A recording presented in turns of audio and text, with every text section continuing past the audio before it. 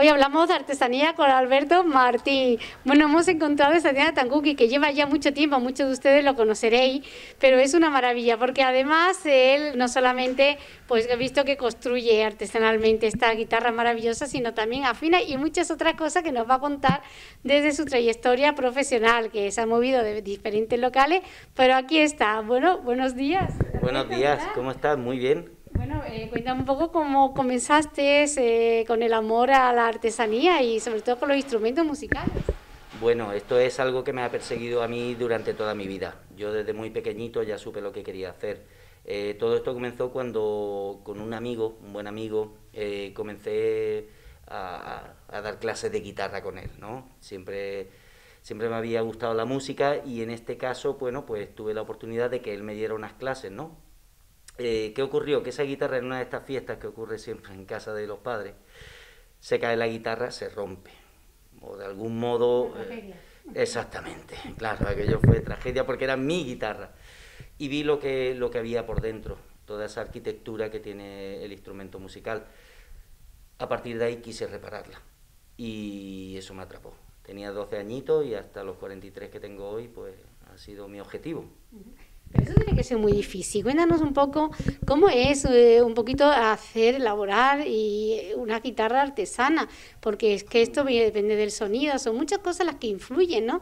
A la hora de escuchar, ¿no? Eh, la guitarra, aparte de tenerla que afinar, como has dicho, como lo haces tú, tan curiosamente acá no haber una demostración, pero ¿cómo es? Eh, ¿Qué, fases intervienen la todo esto tiene un proceso. Eh, lo primero es la selección del, material, la madera, que es lo, básico y fundamental para un instrumento musical. La buena calidad de la madera es eh, lo principal y básico. Y a partir de ahí, bueno, pues un, proceso que al final es rutinario, digamos, de construcción, sabiendo dónde poner cada pieza y ensamblarlas, pero también es un pensamiento abstracto, porque yo me encuentro con un material que viene directamente en bruto, con lo cual qué es lo que tengo, cuál es el máximo partido que le puedo sacar. Explicarlo aquí ahora en un momentito es muy complicado, pero realmente eh, yo diría el método de construcción, el material que empleamos y después la mano de cada luthier. Eso es lo que al final va a dar con la, clave. Cuando vas a una tienda y tal, o ves, ves una guitarra que te puede costar desde los 100 euros a un dineral, ¿no? Miles de euros, ¿no? Y ahí esto influye lo que es la madera, ¿no? Directamente. influyen muchos factores. Eh, agradecemos que existan estas factorías de algún modo porque siempre se le da la oportunidad a las personas para que comiencen, porque nadie se va a poder gastar ese dinero que cuesta un instrumento de luthier de primera hora, ¿no? Entonces, bueno, nos podemos encontrar esos 100 euros, como, como bien has dicho, hasta, vamos a empezar a llamarlo guitarra, 1000 euros en adelante. Eh, ¿Qué influye en esto? Eso es eh, la, cadena de producción. Claro, que hay personas que se encargan de ciertos procesos, entonces pues al final el ensamblaje es mucho más eh, rápido, por decirlo así, ¿no? Pero cuando se trata de un luthier, Aquí nadie mete la mano en ese puchero nada más que la única persona, el cocinero, ¿no? Entonces ahí eh, se convierte en magia, por decirlo de algún modo, porque es cuando se le puede sacar el máximo partido a una pieza con el máximo esmero y eh, la mayor dedicación. Es, fundamental. Es, un arte totalmente y una joya algunas de las guitarras, ¿no? Que ya por sí sola como que te, te suena ya, ¿no? Como que ya tiene la melodía solamente el verla, ¿no? Yo creo, no sé, entre anécdota que te haya ocurrido con tus clientes, ¿nos podrías contar alguna? Bueno, anécdota, tendría muchísimas, pero lo principal de todo, eh, más que anécdota, satisfacción de saber que eh, cada vez que creo una de, mis guitarras, eh, esa, esa, esa, esa, mirada, esa sonrisa, ese brillo en los ojos que le aparece a la persona ¿no? cuando, cuando por primera vez la toca. Y tenemos que entender que un instrumento musical eh, ya era un ser vivo antes, ¿no? porque viene de, los árboles, pero es uno de mis niños o de mis niñas. Entonces también es un, es una cosa muy especial, es muy especial y, la, y las personas lo perciben. En cuanto tienen un instrumento hecho por un luthier hecho a mano, eso se percibe inmediatamente y ya les corresponde a la persona que lo toca o lo va a tener durante su vida de darle la crianza. O sea, es como donar una parte de mí, un otro ser, y ahora le toca educarlo y educarlo bien y llevarlo para adelante que, que salga bien.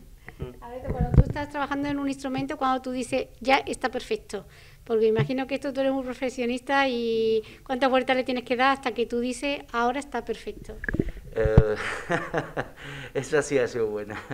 Em, uno no es muy difícil cuando, cuando, cuando se exige la máxima concentración para un trabajo el que estés completamente satisfecho.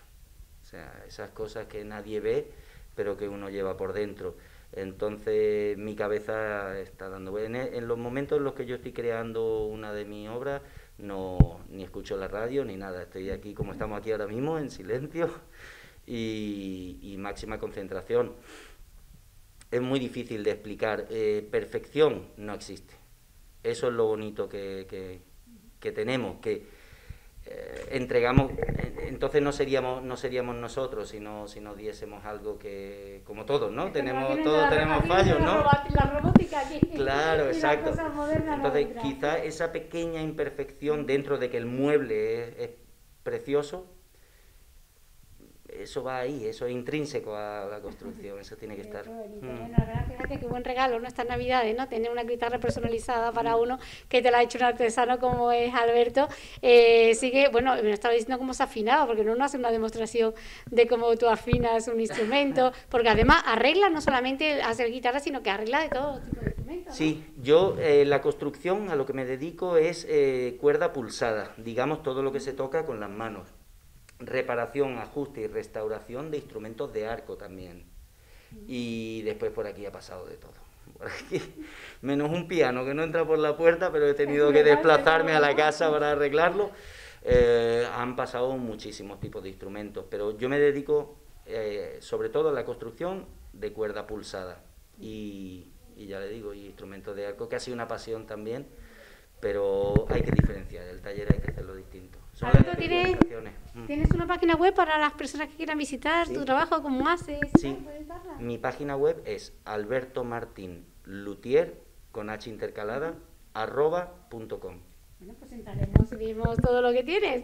Gracias por atendernos, que te hemos cogido un poquito así infraganti, pero bueno, tú sabes, aquí tampoco llevamos guion, es como tu guitarra, que aquí no es... Pues ¿sabes? Para que quede, porque ese es el sonido que se debe de quedar en la memoria para siempre. Este es el sonido de, bueno, de la tierra.